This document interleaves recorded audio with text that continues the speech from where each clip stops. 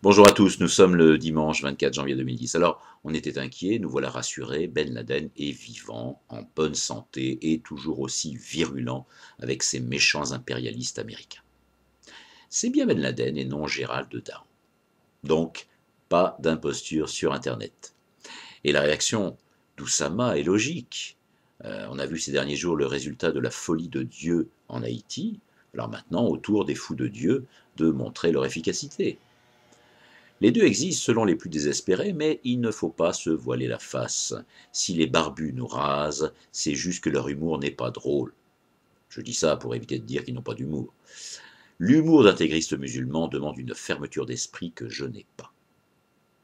Et bon, comme on dit souvent, l'humour c'est la vie, et ce qui me différencie d'eux, c'est d'être en vie. Alors Ben Laden rappelle à tout le monde, et même à Obama, qui n'a rien à voir avec George Bush, qu'à force de faire des conneries au Proche-Orient, dans le Golfe, on fabrique des terroristes barbus, velus ou poilus. Ça, c'est selon les goûts de chacun.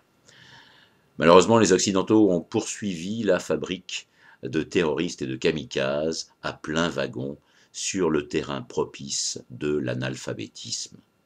Plus sérieusement, l'apparition de Ben Laden pose les vraies questions. Est-il encore loin de la retraite. A-t-il suffisamment de points pour la toucher pleine et entière? Ou doit-il se tourner vers les autres membres de sa famille? Sa famille a-t-elle gardé des parts dans la société américaine d'armement Carlyle? Va-t-on voir des pseudo-humoristes ou chansonniers français euh, parler de Ben Laden hors des clichés habituels, avec, pour une fois, un peu de fond?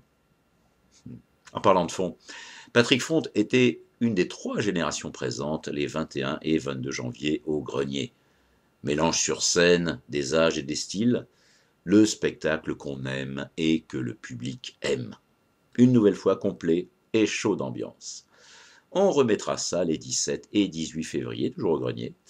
Le succès est là et pourtant, après enquête, pas de personnes présentes parmi les fidèles de Dailymotion.